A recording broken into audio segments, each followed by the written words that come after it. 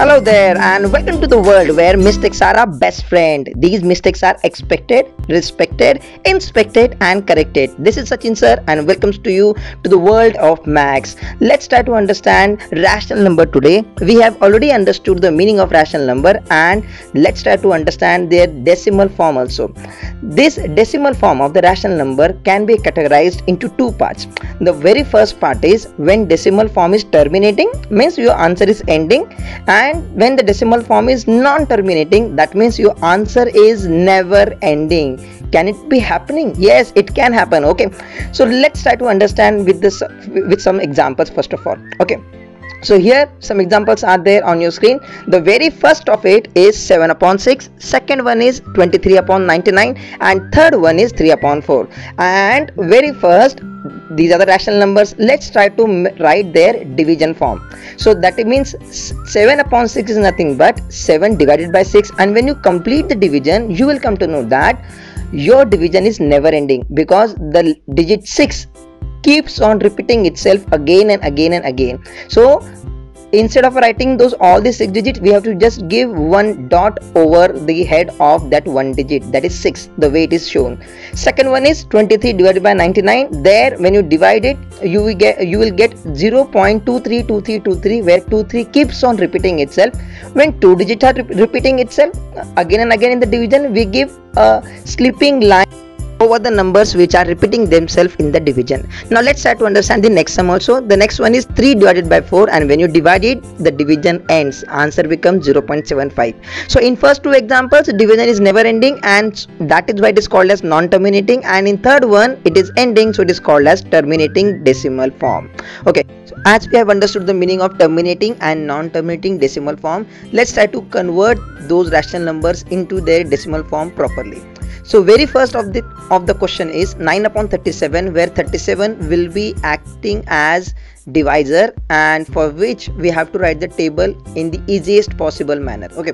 So very very first add 37 to 37 you will get the answer 74 and when you add 37 again to 74 you will get the answer triple one. That is in the number in the three das place.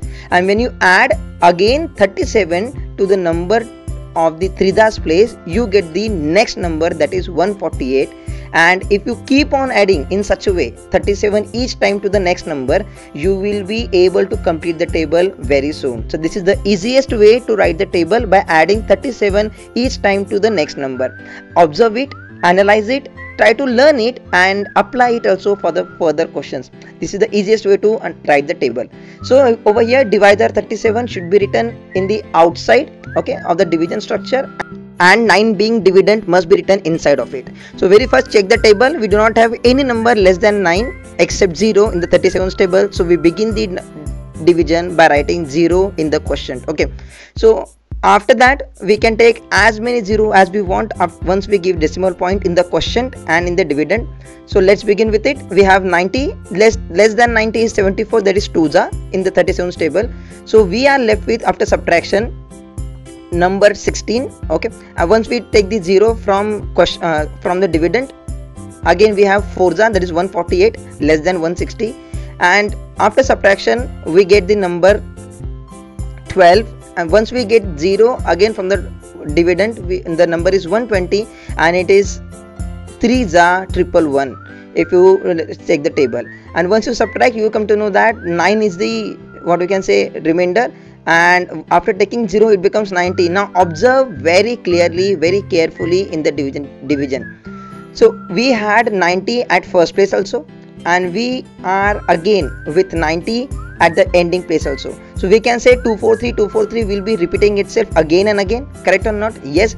And that is why 9 upon 37 is equal to 0.243 repeating itself. And as 243 is repeating we have to give slipping line over the number.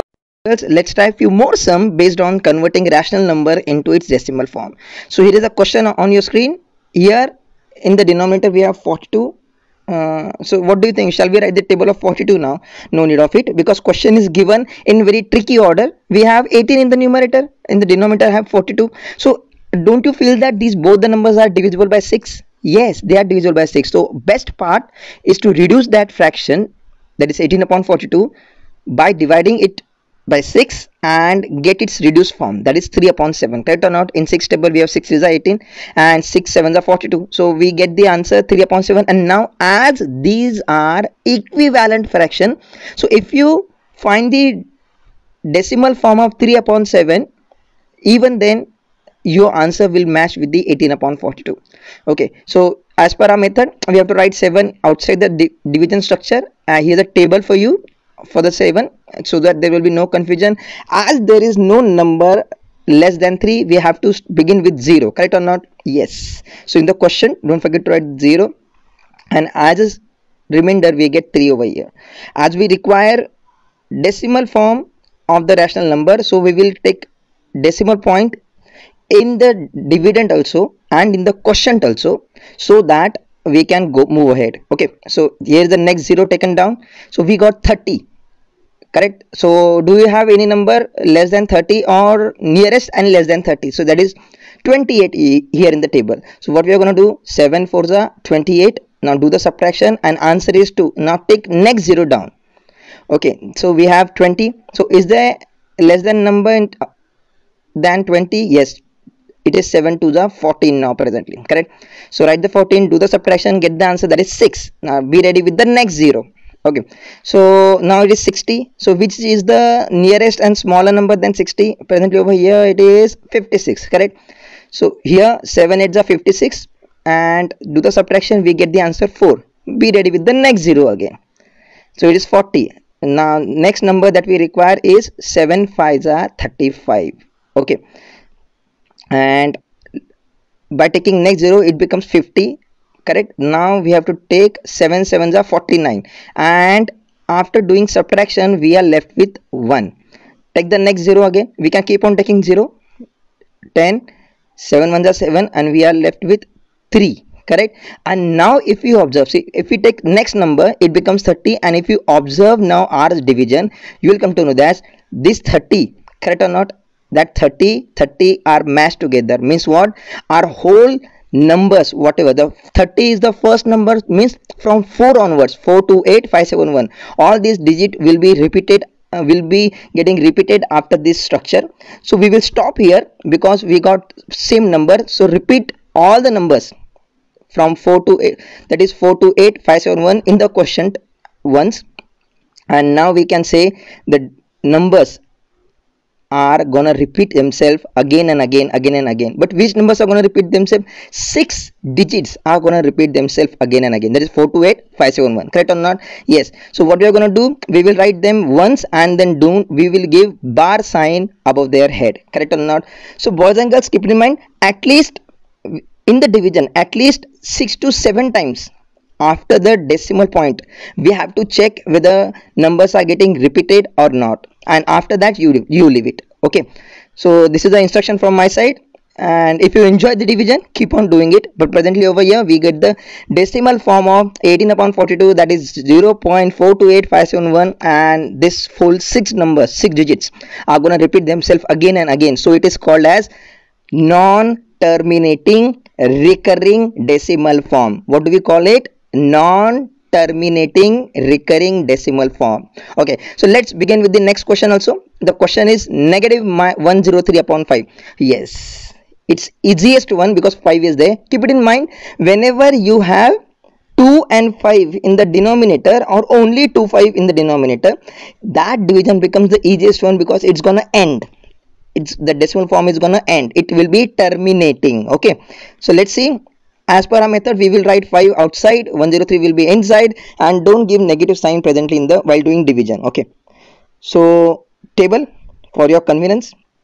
And here we are here we are with the 10 in the table itself correct? So it is 5 to the 10 we are left with 0 3 is taken down. Now 3 is not there in the table of 5 correct or not? But 3 is taken immediately after 10 so we will use 3 is not there but which is the less number than uh, 3 in the table? It is 0 0 is the multiple of every number. Every number multiplied by 0 answer comes 0 so though it is not written at the beginning it is always there for every number every table. Okay.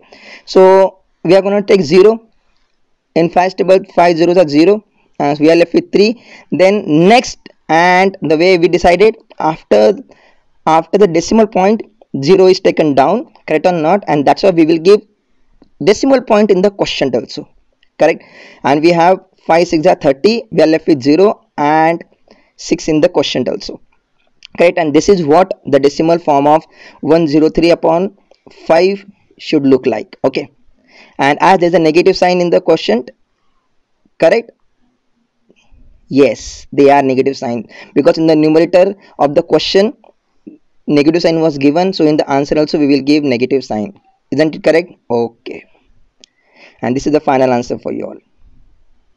I hope you have understood this. This decimal form is called as terminating decimal form. Okay. The next question is minus 11 upon 13 okay so don't forget to give minus sign in the final answer also. 13 should be written outside and 11 should go in inside the division structure. Here's a table for of 13 for you all. And what we have presently over here? 11 is not there in the table of 13 so we'll take 13 zeros are 0 correct or not? Yes. And we are left with only 11 and as the as we require decimal form further ahead we'll give decimal point in the in the question i mean to say in the dividend and take as many zero you want as per your need and now as we are taking that zero which is after decimal point we'll give quotient in the question also decimal point. And we have 13 eights are presently over here 104 and that makes us left with 6 correct? Then next zero will be taken down. The 13 fours are 52 and the answer will be 8 we'll take next zero again. That will make it 80 and we have 78 correct? Less than 18 that is 6 are 13 6 are 78 so we are left with 2 then next zero it's coming down my dears and that will make it 1 za correct or not? Yes. So till now no digit is repeated. So we have to keep on going correct? Till at least 7 digits after the decimal point.